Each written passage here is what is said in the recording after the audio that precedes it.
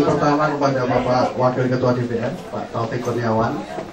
Kemudian terima kasih juga kepada Profesor Ahmad Mubarak. Dan terima kasih pada senior kita, alumni DPR juga, Bapak Akbar Tanjung.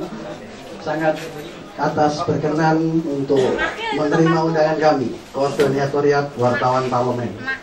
Diskusi ini rutin Pak, tiap minggu terkait tema-tema aktual. Namun khusus untuk bulan ini, kami pengurus membuat tema dikaitkan dengan Kebang, eh, Sumpah Pemuda 28 Oktober. Minggu kemarin kita bicara tentang kepemimpinan anak muda dengan mengundang tokoh-tokoh muda, Pak Trizon, Yudi Krisnandi. Nah, minggu ini kita bicara tentang saatnya regenerasi kepemimpinan. Kita undang tokoh-tokoh senior. Dan mungkin minggu depan kita akan undang tokoh-tokoh. Dan diskusi ini kita rekam karena kita transkrip juga akan kita berikan satu tahun ini. Audiensnya adalah wartawan yang ngepost di sini, Pak. Jadi semua ini wartawan, saya yakin pasti dimuat. Kalau nggak berita foto ya ada tulisnya. Tapi jangan PPI-nya katanya Pak Mubarak. Jangan PPI supaya nggak gede. Mungkin itu pembukaan dari saya yang pertama. Kami ingin sebenarnya meminta pendapat dari senior dulu, Pak Akbar. Karena 2014 ini kan titik krusial bangsa ini ketika era kepemimpinan Bapak Presiden SBY tidak bisa maju lagi. Artinya saatnya kita berganti presiden. Di kancah global, geopolitik global, pemimpin-pemimpin dunia kita ada mulai muda-muda Pak. Amerika sudah di bawah 50, tetangga kita Singapura, Malaysia, mereka sudah regenerasi kepemimpinan. Nah mungkin untuk Indonesia saat tahun depan ini juga saat yang kita nantikan. Kalau kita lihat calon presiden, mungkin baru Golkar, partai yang sudah menyebut kalau partainya Pak Mubarak masih konvensi ya Pak. Kalau PAN saya kira masih belum tahu formatnya seperti apa. Karena itu mungkin pertama saya minta Pak Akbar karena Pak Akbar sendiri juga kan masih dalam dari beberapa yang kita baca terkait pencalonan Pak Ical pun masih meminta ya ada evaluasi. Nah yang dimaksud evaluasi itu apakah evaluasi seperti apa mungkin juga bisa dan dikaitkan dengan regenerasi kepemimpinan. Terima kasih. Terima kasih. Assalamualaikum warahmatullahi wabarakatuh. Waalaikumsalam. Salam sejahtera untuk kita semuanya. Pak Mubarok yang saya hormati, Adinda Kopi Kurniawan yang saya hormati dan saudara moderator dan saudara-saudara sekalian wartawan. Saya kira tema yang diajukan dalam diskusi pada siang dan sore hari ini amat menarik. Pertama menarik kenapa? Karena momentumnya juga dikaitkan tadi dengan Sumpah Pemuda. Karena dalam konteks saya, dalam perspektif saya, Sumpah Pemuda itu juga menyangkut menyangkut masalah regenerasi kepemimpinan tentu. Kenapa? Mulai Sumpah Pemuda itu kan untuk tokoh-tokoh muda Indonesia yang kemudian banyak berkiprah di dalam perjuangan pergerakan kemerdekaan kita. Dalam kaitan dengan itu menurut saya pemuda dalam dirinya itu mengandung dua hal penting. Pertama yang terkait dengan aspek kesejarahan.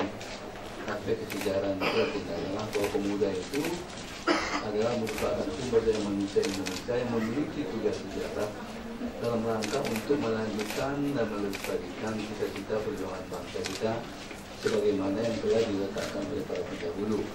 Mulai dari kebangkitan nasional dan kemudian sumpah pemuda. Puncaknya tentu proklamasi kemerdekaan tahun 45 kemudian kedua adalah aspek regenerasi. Kalau soal regenerasi tentu menyangkut soal kepemimpinan. Karena orang-orang muda ini juga akan menjadi potensi menjadi pemimpin yang potensial untuk memimpin bangsa kita ke depan. Karena itu pemuda juga tentu harus mempersiapkan dirinya untuk menjadi penulis di dalam kepemimpinan bangsa itu dalam konteks dari diri seorang pemuda Nah, kemudian arti pentingnya lagi dalam pentingnya karena kita tadi disebut-sebut kita akan menghadapi pemilu tahun 2014 yang akan datang. pemilihan legislatif dan kemudian juga pemilihan presiden. Dan pemilihan legislatif juga kita melihat muncul tokoh-tokoh muda dan tentu pada hal yang sama diharapkan juga dalam pemilihan presiden. Nah menurut saya bahwa memang kita harus menciptakan satu iklim yang kondusif bagi munculnya kepemimpinan-kepemimpinan baru. Jadi saya ingin menggarisbawahi satu iklim yang kondusif bagi munculnya kepemimpinan baru.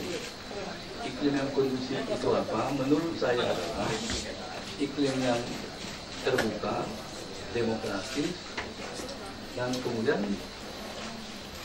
memberikan kesempatan terjadinya suatu persaingan di antara mereka yang terpanggil untuk menduduki jabatan-jabatan itu juga bisa berkompetisi secara sehat, secara fair. Itu intinya. Nah, dalam konteks itu tentu saja dikaitkan dengan kepemimpinan nasional kita, kalau kita lihat dalam kaitan dengan kehidupan kebangsaan dan kenegaraan kita pada saat ini, ya kepemimpinan nasional itu ya tentu posisi politik yang tertinggi di Indonesia ini tentu tidak lain adalah presiden. Presiden itu tidak hanya kepala negara, tapi juga karena sistem presidensial kita, presiden juga menjadi kepala pemerintahan dan berbagai kewenangan-kewenangan otoritas yang cukup tinggi, yang cukup penting melekat pada posisi seorang presiden di Indonesia. Jadi oleh karena itu tentu wajar kalau kita pun harus mempersiapkan mereka-mereka atau orang-orang yang kita harapkan nanti akan ikut serta di dalam kontestasi terutama dalam pemilihan presiden itu. Nah kuncinya tadi kembali kepada apa yang saya kemukakan ya bagaimana kita menciptakan iklim yang kondusif dan bagaimana kita membangun mekanisme yang terbuka dan demokratis supaya mereka-mereka yang terpanggil untuk menduduki jabatan-jabatan puncak dan kehidupan kenegaraan kita itu mendapat peluang untuk bisa turut serta ataupun atau ikut dalam kontestasi daripada calon-calon presiden atau calon pemimpin nasional kita. Karena kita ketahui bahwa dalam konstitusi kita penetapan calon presiden itu dilakukan oleh partai politik, gabungan partai politik, dan memang gagasan-gagasan ke depan supaya dimungkinkan juga calon perorangan atau calon independen sebagaimana untuk kepala daerah baik gubernur maupun juga bupati wali kota sudah berjalan. Cukup beralasan gagasan ke depan agar diberikan kesempatan juga munculnya calon-calon perorangan untuk pemilihan presiden. Saya termasuk yang memberikan dukungan terhadap gagasan itu